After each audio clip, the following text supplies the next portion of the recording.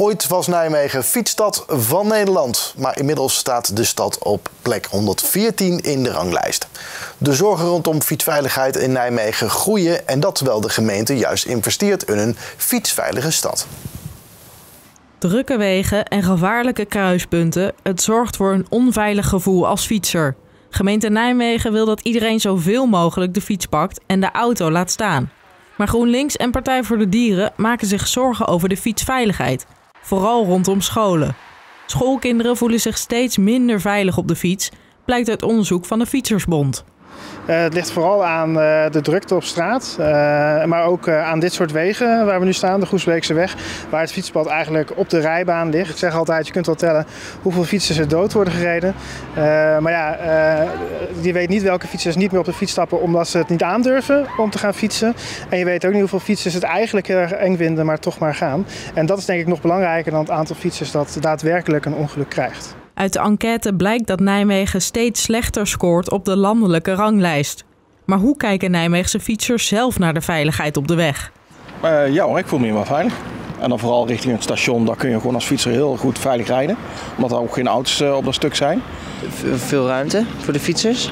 Dus veel uh, wegen waar de auto's toch wat voor, meer voorrang moeten verlenen, denk ik.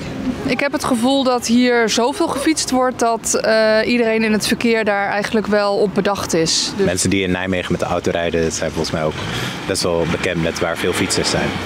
Als ik zelf goed oplet, voel ik me wel veilig. Wat zorgt dan voor het onveilige gevoel? Roekeloos rijgedrag. Iets te snel misschien. Uh, ja, je merkt wel dat het een stuk drukker is. Ja. En uh, ook, ook de elektrische auto's, die hoor je minder goed. Dus dat is ook wel een ding. De uh, snellere fietsers die je wel tegenkomt. Uh, dus het is wel opletten geblazen. De laatste tijd wordt het wel heel erg druk. Ik merk wel echt verschil.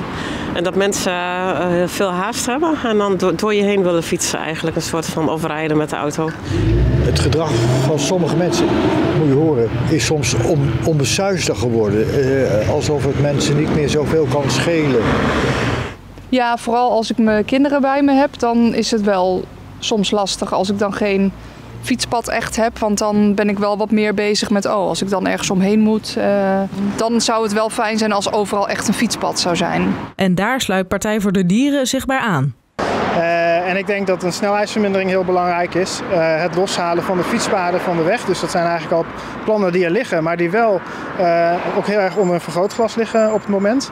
ik denk dat het belangrijk is dat die zaken doorgaan. En dat we bij de scholen gaan kijken van hoe kunnen we nou voor zorgen dat op de momenten dat de kinderen met de fiets naar school komen, die ouders in ieder geval niet in de straat of dicht bij de school zich heel veel heen en weer bewegen. Wat dat eigenlijk ook heel onveilig gevoel geeft.